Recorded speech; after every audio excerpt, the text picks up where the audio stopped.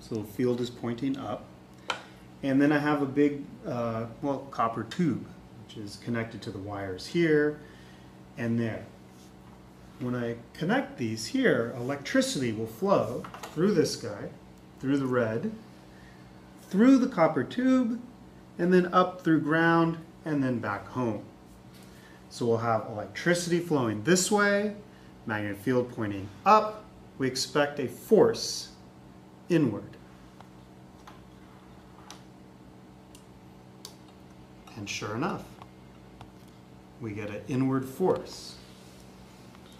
Now, if I reverse the direction of the current, we expect an outward force. I'll get this guy out of the way.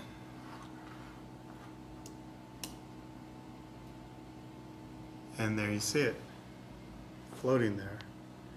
Because now that I've reversed the direction of the current, current is flowing